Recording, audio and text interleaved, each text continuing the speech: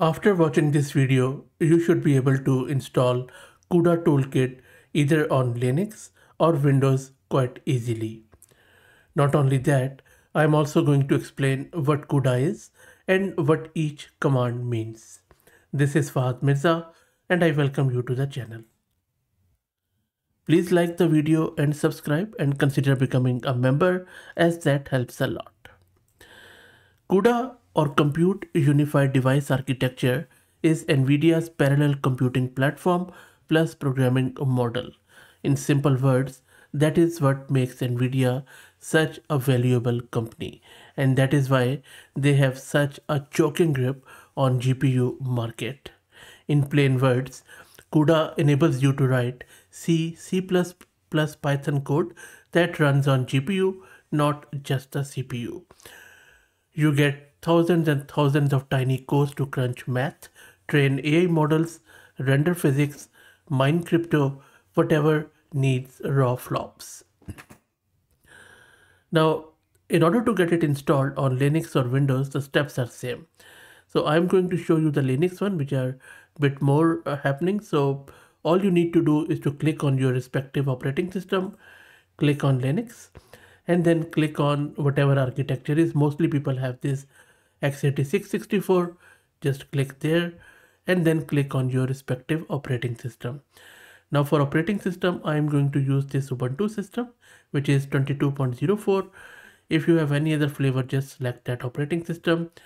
Also i have one gpu card already which is nvidia rtx a6000 with 48 gb of vram so it is quite a recent gpu which is quite good and this CUDA should be compatible with that and they also have a compatible compatibility matrix on this page.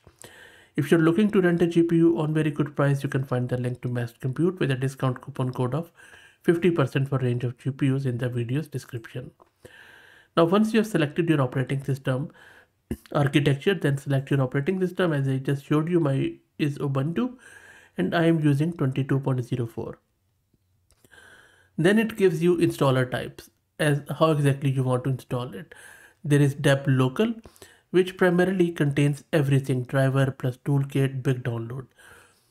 And then we have deb network, which is tiny dot you know meta package.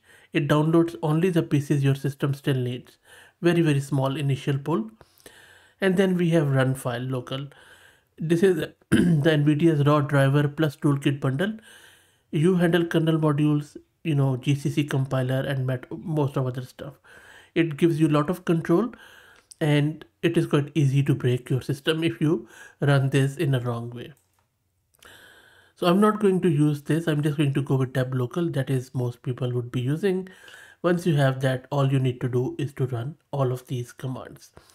So let me first quickly explain or maybe i will run it first so that you know you could see something in action too and then we will go from there. So maybe I will just paste here the commands one by one and then I will start explaining. First and foremost I'm going to use this wget which already or which primarily is a downloader which comes with uh, all the Ubuntu flavors. So this what this is doing it is downloading a priority pin file which tells the uh, package provider in Ubuntu to always prefer NVIDIA's repo packages over Ubuntu's old one. That is all it is doing. then we need to drop this pin where Ubuntu can actually see it. For that you would need to use the sudo move command. So we have moved it and then we have to download the Debian package with the help of wget command. Now let me paste it so this is where it is getting the fat local repo around 4 GB of size. I think it may be higher. You just have to check the latest version. It's not the toolkit itself. It's a mini apt repository which has been stuffed into a single .deb file. So you see the size is close to 4 gig, I believe. The download speed is quite good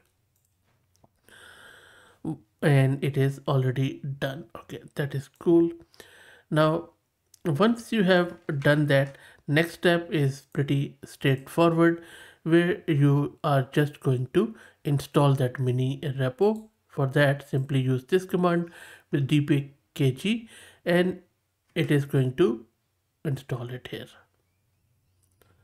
So let's wait for it. It is going to take a bit of a time unpacking and all that stuff. While that happens let me also introduce you to the sponsors of the video who are Eigent Eigent is the world's first multi-agent workforce desktop application which empowers you to build manage and deploy a custom AI workforce that can turn your most complex workflows into automated tasks and you will find their link in video's description too. And that part is also done. Next we need to copy the GPG key so that it is trusted and that's done. And now we need to refresh the package list as we have downloaded few more. Shouldn't take too long. And now you can install the actual CUDA toolkit, which is this CUDA toolkit 13. This install NVCC, cuBLAS, and lot of other things. And that takes around two to three minutes. So let's wait for it to get installed while that happens. Let's talk a bit more about this CUDA and stuff. One thing I want to show you is that if you go to my channel and if you just search with CUDA, you will see heaps and heaps of videos. Most of them are about alternative of NVIDIA chips and CUDA. Now you will see that I have been covering lot of projects, lot of tooling, lot of models which are trying to provide some alternative of CUDA. Nothing against CUDA. CUDA is no doubt one of the best pieces of software out there. It is just that um, we need more affordable and more accessible GPUs so that prices will come down and we should have these GPUs in our home labs. Anyway, so if you're interested in CUDA programming or what exactly is CUDA in more detail uh, or in short, I have done heaps of videos, so just check the channel and you should be able to find something one or another. While it installs, let if I click on Windows again, it is just x86 architecture. And if you go here, all you need to do is to just download this exe and then click click next next. That's it. That is the windows one. It is quite easier. And meanwhile that CUDA toolkit is being installed. So let's wait for it to finish.